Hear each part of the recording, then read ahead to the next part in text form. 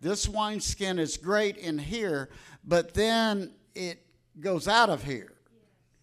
And I'm not sure that wineskin is established yet in every state of our 13 colonies. I think you carry it from here. I, I think of New Hampshire and Maine, and, and uh, then I always have to include Vermont, even though it's our 14th uh, state. Uh, but those states uh, are not fully, they don't fully yet have the wineskin necessary for the next movement, even though they have the DNA of the next movement in it. Now, that's the way you want to think about it. Where is the government to govern this? Because when the Jesus movement hit, there wasn't the the government of the church couldn't handle it. So it rejected it. And thank god that the vineyard and peter wagner and, and john wimber and uh, all of all of those people tried to form a, a, a government that could help govern that because the church rejected it.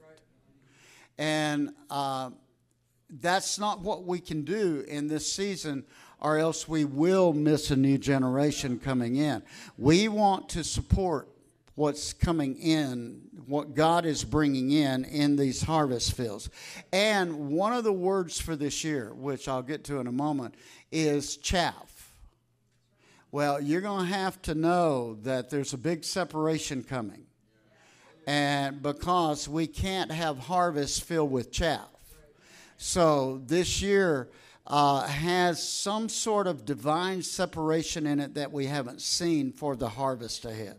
Now, with that, the Lord has instructed me based upon what happened at the Citadel in South Carolina, which is part of this 13 colony movement here, to this year concentrate and get built for us a clear database for every state.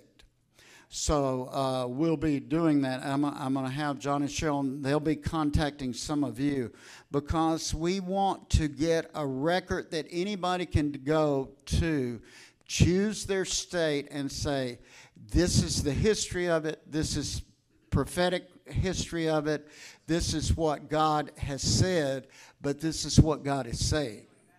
And some way or another, what happened with us in COVID is a lot of 30 year olds came into this ministry and movement, but I can tell they do not understand anything.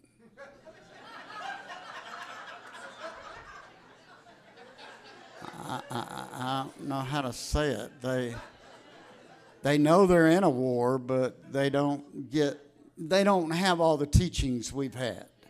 And I don't think they want all the teachings we've had. I think they just want to try to jump in it and get moving with it, and that's okay. You know, you'll learn to shoot along the way some way, or else you'll get shot. So, so, I mean, that's always been my philosophy. You know, I'm not a. I've never been a good babysitter. Uh, Pam only let me do it twice, and our 50 plus years of marriage. And uh, uh, once the fire truck was there when she got home. So it's, I, I just know I love the strength of a new generation coming in, but they're going to have to hit it running, I, I think. I think that's what we're going to see, uh, actually.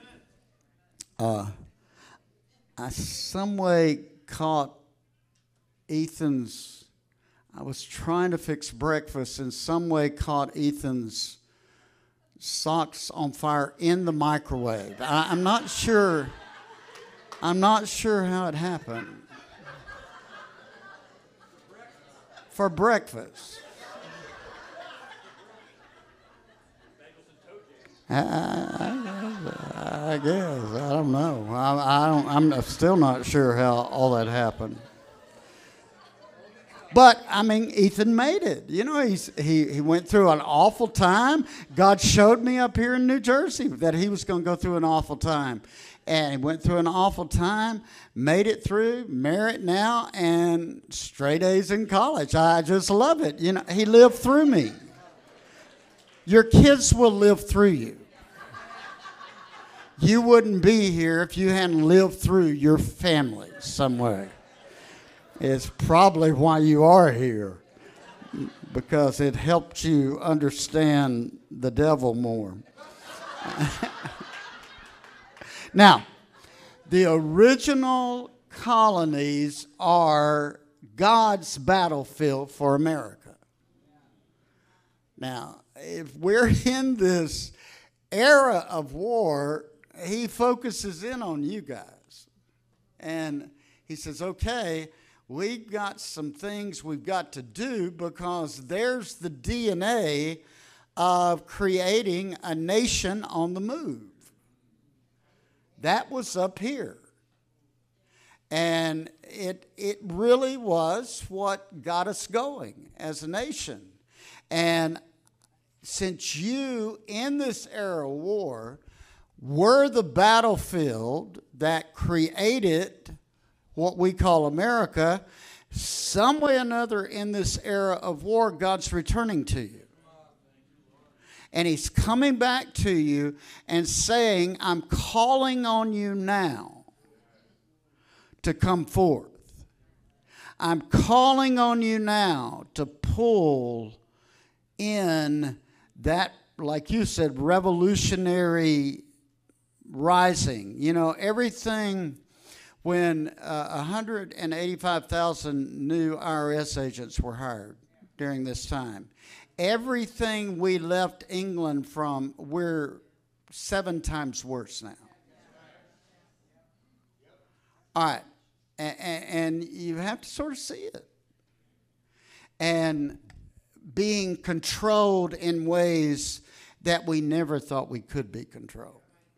So you have to know that there is a battle, and some way God's eyes is still focused on this original battlefield. Now, at the citadel, the Lord showed me this.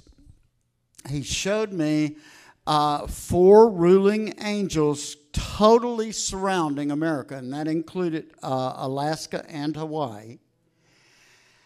And then I knew immediately there were 51 angels that they had access to to send in. Now, I believe this is the year that, and why we want that database of each state is this is the year that the angel, and they all had their sword in their sheath the angel visits each state. And then, somewhere in this era, those four ruling angels converge on DC. And then the others follow them there. We're in for some wild upheaval. And I don't think you can figure it out with your mind. It, it's not going to look, I mean, m- many of us in this room are history buffs. It's not going to look like what we've seen. It's going to look different, and it's going to be supernatural. Eh, it's not going to have, I mean, it's always supernatural, but this has got a supernatural dimension in it that we have never encountered before. So this becomes real important. Now, all of this, that revelation came from the meeting we had when God pulled me up into, through the portal at the Citadel and showed me this. So, again, a lot of everything that the Lord has done to reveal to me America has always come from this portal up here with you.